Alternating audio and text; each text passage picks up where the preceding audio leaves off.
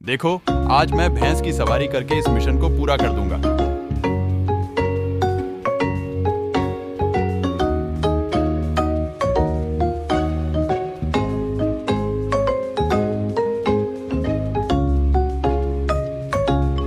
चल मेरी गैया, टिक टिक टिक।